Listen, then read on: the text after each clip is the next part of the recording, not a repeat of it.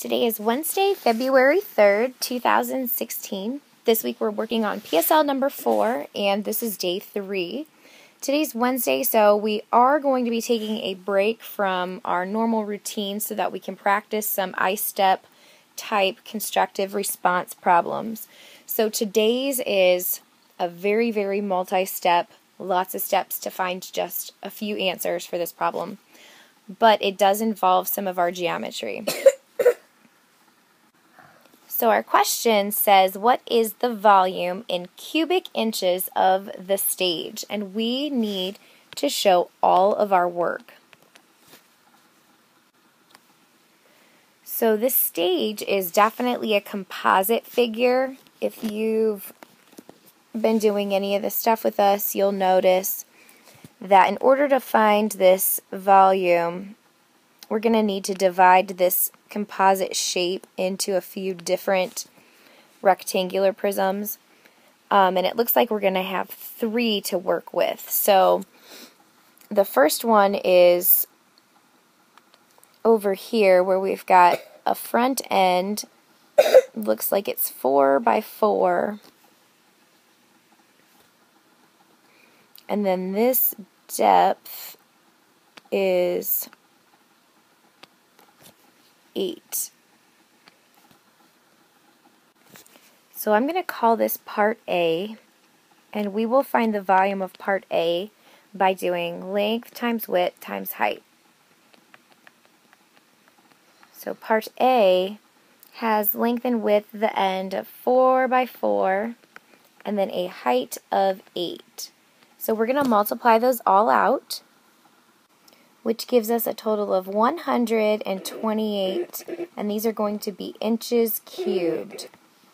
So I'm going to save that answer over here, 128 cubic inches, and then I'm going to clean up my picture and continue on finding the other pieces of the stage.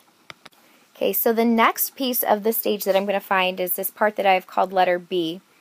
And part B has measurements of, let's see, this top right here is 4. And then the side is going to be, let's see, 4 plus 2, so it's 6. And then the depth is still 8. So my length times width times height is going to be 4 by 6 by 8. So I'm going to multiply that out. And for this piece, I'm going to get a total of 192 and this is in inches cubed. So I'm going to bring this one down here, 192 cubic inches for part B. And now to find the area, I'm sorry, the volume of my last piece of the stage, I'm going to do length times width times height. And we have a length, let's see, of 4 with a width of 2 and a height, again, of 8. So I'm going to multiply those all out, and I get 64 cubic inches for this piece. Now to find the total volume, I'm going to add up all these pieces. So I have 128 plus 192 plus 64, all cubic inches which gives me a grand total of 384 cubic inches. So down here should be 384. So that is part A of this problem. Now on to part B, we're going to actually be using data from our first part A. So the 384 cubic inches is something that we'll want to use over here.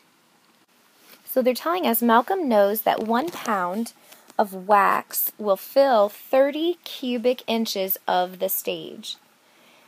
He also knows that to purchase a five pound bag of wax is going to cost $8. So we need to figure out what is the cost of the wax Malcolm needs to buy to make the stage.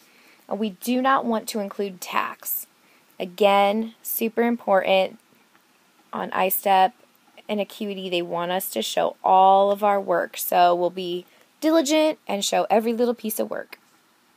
Okay, so the first thing I'm going to do is I'm going to go back to the beginning.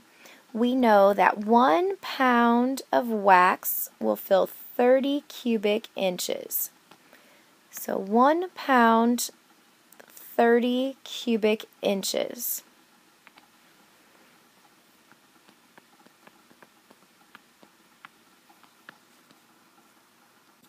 And we know that we have a stage which is 384 cubic inches.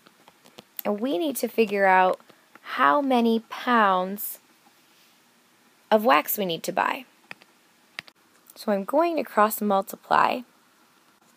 And I get 30x equals 384. So we're going to be dividing 384 by 30. We're going to get a funky number. We're going to get a decimal.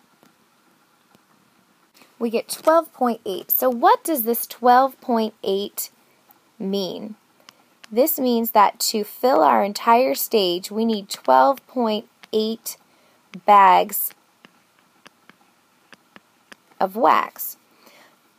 But if we go to the store to buy bags of wax, we can't buy just 12 and then 8 tenths of another bag. We're going to have to buy them in, in one increment doses. So we wouldn't want to buy 12 bags, we would want to buy 13 bags. So the first thing we need to know is that we need 13 bags. So we've taken care of that part. Okay, the next piece of info that I need to incorporate is that it says a five pound bag. So they're selling wax not by the pound but by the five pounds. So if I need 13 pounds, I need to figure out how many bags I'll need if I'm buying them in increments of 5 pounds. So if I buy one bag, I get 5 pounds. If I buy two bags, I get 10 pounds. Three bags, 15, etc. So I need to make sure that I cover 13, and we're probably going to end up with a little bit extra because I get 2.6, so I'm going to round up. So I'm going to be buying or purchasing three bags, which is going to give me 15 pounds, but we only need 13. The last piece of information is that each bag of wax costs $8.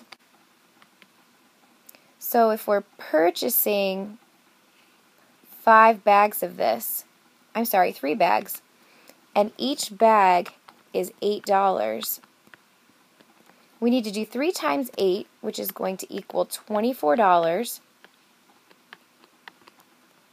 which is the total amount that we're going to be spending. And that is how you solve that problem.